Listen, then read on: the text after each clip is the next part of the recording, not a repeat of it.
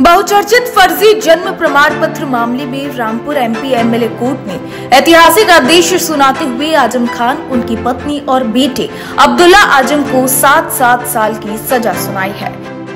जानकारी के मुताबिक तीनों को कोर्ट से सीधे जेल भेजा जाएगा। कोर्ट ने मामले में दोनों पक्षों को सुनने के बाद अपना फैसला सुनाया है और आज़म खान, उनकी पत्नी, तंजमा और बेटे अब्दुल्ला खान को दोषी करार दिया है। दरअसल हाई प्रोफ़ाइल मामला होने की वजह से आज सुबह से ही पुलिस प्रशासन सख्त पहरा देते हुई नज़र आई।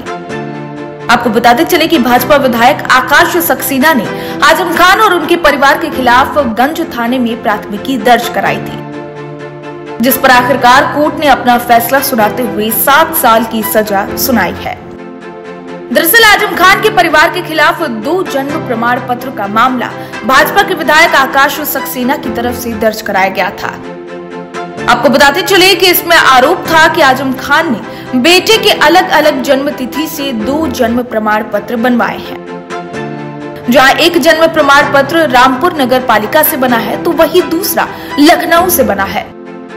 वही इस मुकदमे में आज़म खान के अलावा उनके बेटे अब्दुल्ला और पत्नी, पूर्व सांसद डॉक्टर तंजीन फातिमा भी नामजद हैं। दरअसल आज़म खान पिछले साल मई में 27 महीने जेल रहकर सुप्रीम कोर्ट से मिली जमानत पर बाहर आए थे।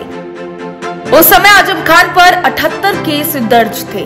तब कोर्ट ने भी यूपी सरकार के वकील से पूछा था कि ऐसा संयोग क्यों हो रहा कि आज़म को एक केस से जमानत मिलती है तो दूसरा केस दायर हो जाता। वही इससे पहले आज़म खान के वकील ने अर्जी लगाई थी कि केस सुप्रीम कोर्ट से ट्रांसफ़र किया जाए।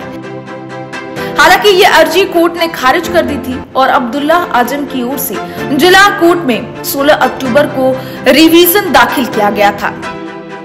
जनपद जज ने केस को एमपी एमएलए सेशन कोर्ट में ट्रांसफ़र कर दिया था। दोनों पक्षों को सुनने के बाद एमपी एमएलए सेशन कोर्ट के जज विनोद बर्नवाल ने अब्दुल्ला का रिवीजन खारिज कर दिया। जिसके बाद एमपी एमएलए कोर्ट ने फैसला सुनाते हुए आज़म खान और उनकी बीवी, साथ ही बेटे, तीनों को एक साथ जेल भेज दिया।